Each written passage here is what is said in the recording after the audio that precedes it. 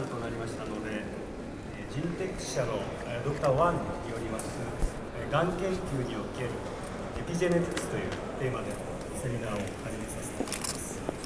ジンテックス社ではですね、25マイクロの小容量からの抗体の販売を行っておりまして、抗体の数でいきますと5万点以上の良質な抗体を販売しております。なお今回のセミナーに関しましてご質問等ございましたら皆様方の後方にございます、え弊社のブースにて対応させていただきますのでよろしくお願いいたします。ちなみにブース番号はですねえ本日の日付5月の15日と同じ5の15となっております。OK let's get started OK so thank you for coming today and join our seminar. Uh, it is our pleasure to be here and share our new understandings for the studies of epigenetics in cancer research. Well, actually, um, uh, these talks will cover two of the most important research areas from the past decades to date. And epigenetics itself is not an easy course, not to mention the involvement of cancers. So uh, it is hard to describe all the details uh, in the next 30 minutes. So besides of the basic concept, uh, today I'm going to give you in what people are interested while looking over these sophisticated uh, research areas.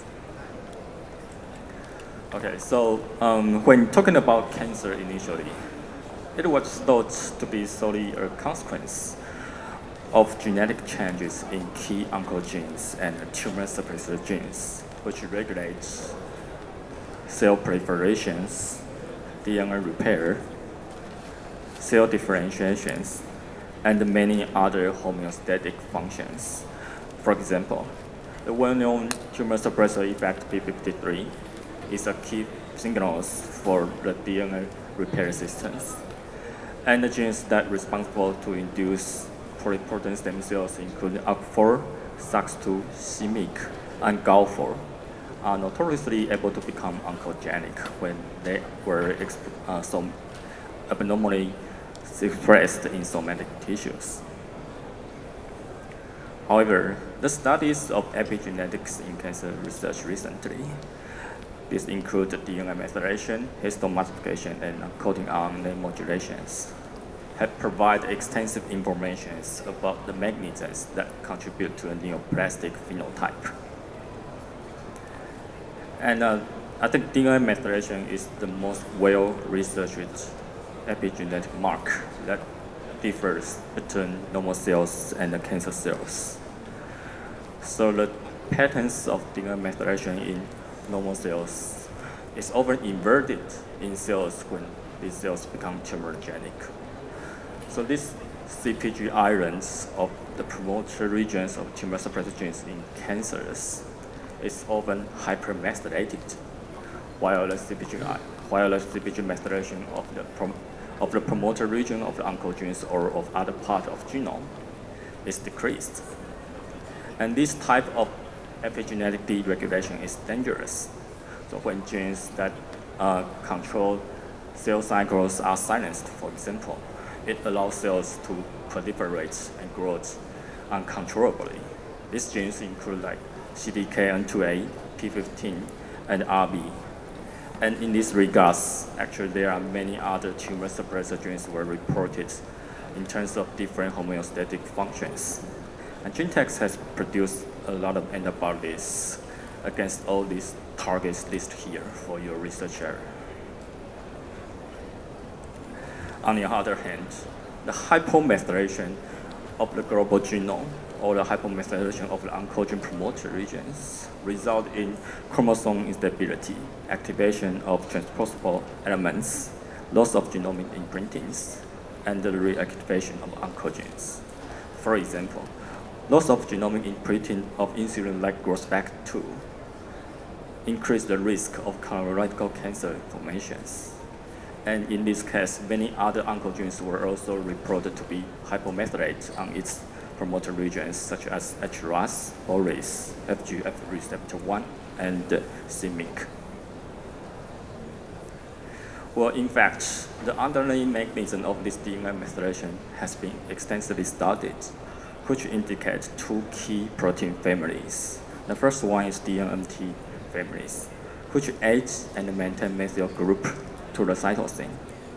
And the second one is TET families, which remove, which reduce the methylated DNA in order to remove its methyl group through a cascade of chemical reactions. And of course, disrupted of these mechanisms due to the disrupted control of either DNMT family or TET family will result in tumorigenesis. For example, TET1 was shown to suppress prostate cancer invasions. In this case, Gentex cooperates with Professor Ruan from Taiwan Academic Sinica and published a cell report paper, and we found that the downregulation of TET proteins was observed in the prostate cancers when you compare to its normal counterpart. And this downregulation was likely involved in cancer metastasis, as demonstrated by this Western blot assay with Gentex TET1 antibody. So you can see here that the reduced expression of TET1 was observed during the development of cancers, and a dramatic reduction was shown in the metastatic cancer cells in lung. Furthermore, we found that downregulation of TET1 can induce tumor formations, as demonstrated by this mouse animal model systems in panel C, and its quantitative data in panel D. And this tumor suppressing effect of TET1 was due to its demethyl activities that maintain the expression level of TIM2 and TIM3, which is known to inhibit MMP families. It's a well-known metastatic factors. But downregulation of TET1 will lead to hypermethylation of the TIM2 and TIM3, which then reduces its expression level and favors cancer metastasis. So this is just one of the many examples showing that epigenetic deregulation in cancer researches. However, it is still obscured whether this abnormal, this abnormal epigenetic control is a cause or merely a consequence of the tumorigenic activities. For example, the expression of DLMT1 was shown to be suppressed by tumor suppressor genes such as P53 and APC, and it can be activated by oncogenes such as CFOS and CJON, which in turn repress other tumor suppressor genes. So in this scenario, the expression pattern of the expression level of DMT is a consequence of the tumorigenic activities.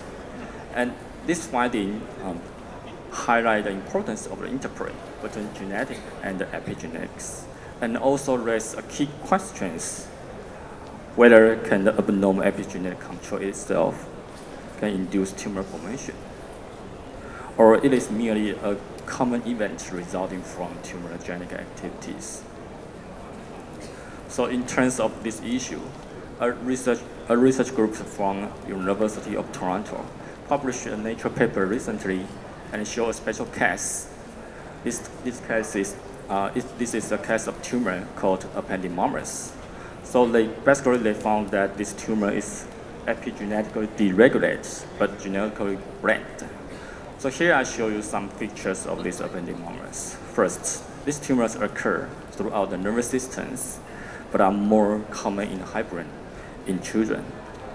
And second, the therapy for this tumor is highly dependent on the surgical resections followed by radiations. And unfortunately, the chemotherapy is, less, is of less effect. So to understand the genes that are responsible for these tumors, the research teams sequenced the whole genome or the exome region of the genomes from patients. But they fail to find any significant recurrent single nucleotide variations or any mutated genes. Instead, they show that this tumor exhibits a CPG island methylated phenotype called CYP. So significantly, you can see that um, compared to the CYP minus group B, the CYP plus group A exhibits more methylated CPG sites in their genomes, more genes with CPG methylations, and more genes were transcriptional silenced. Therefore, the presence of this kind of CPG plus appended markers can be detected by the, uh, by the methylation level of proteins. These proteins include CRP1, CYP26C1, and PKP1. And these proteins are so-called epigenetic markers. Furthermore, they found that many of the sinus genes are related to a protein complex called PRC, PRC2 pathway, reinforcing this well, its well-known functions that suppress tumor suppressor genes through the interplay between histone modifications, DNA methylations, as well as non-coding RNA expressions.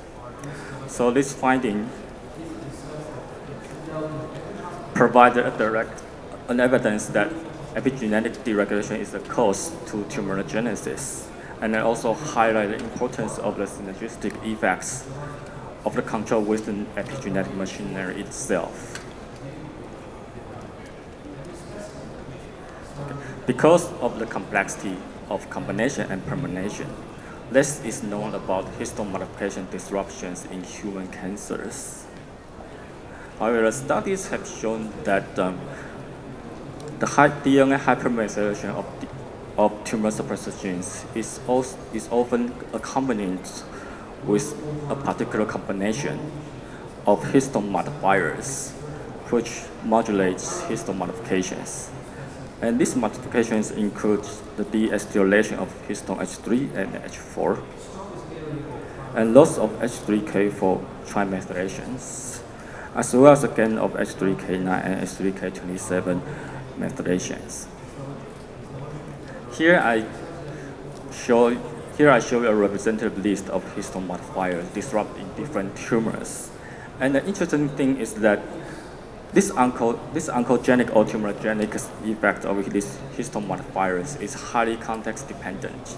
You can appreciate from the table that even the same modifiers have totally opposite roles in different tumors or in the same class of tumors have different histone modification patterns. Therefore, it highlights the complexity of histone modification in cancers.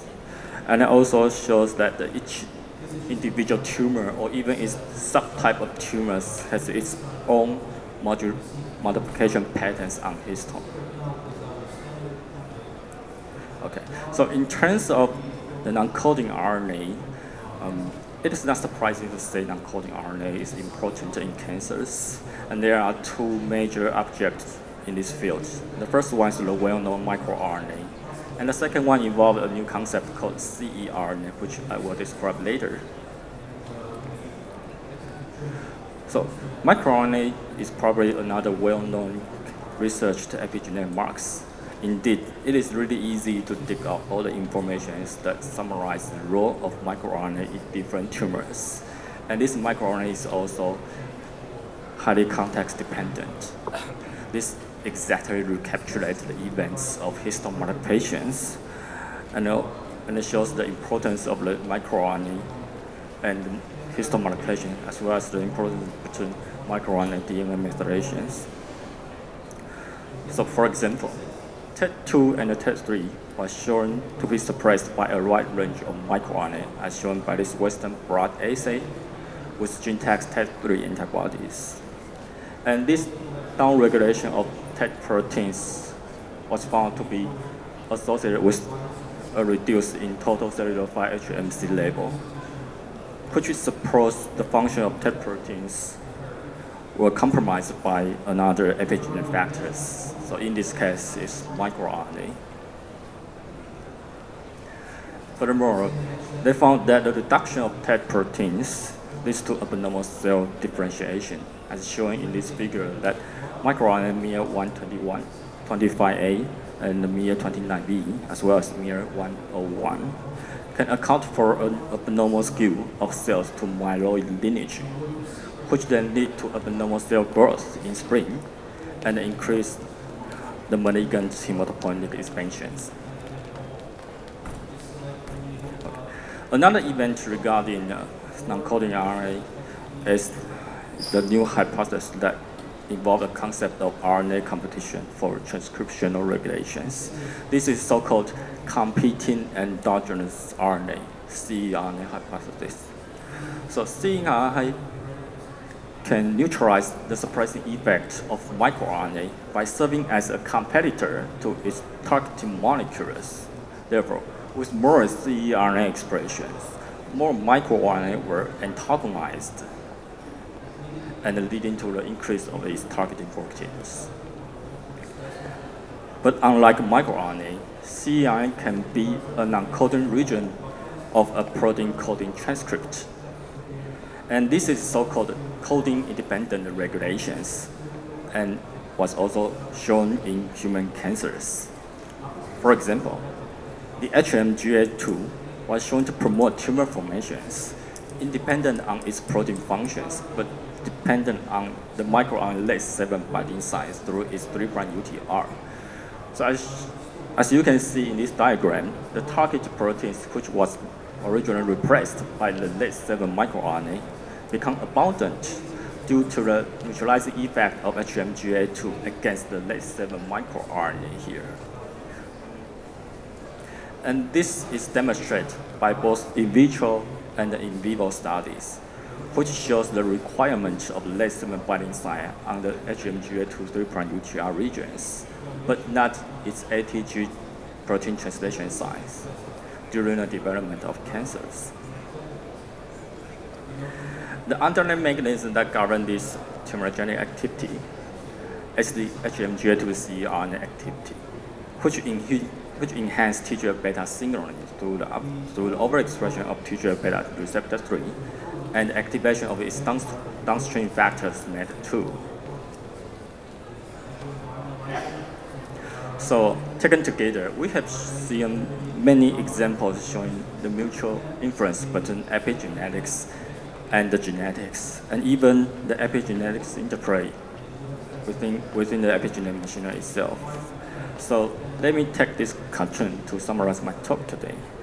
I think cancer is indeed an accumulation of genetic and epigenetic mutations embedded in the genome that give cancer cells advantage over other normal cells.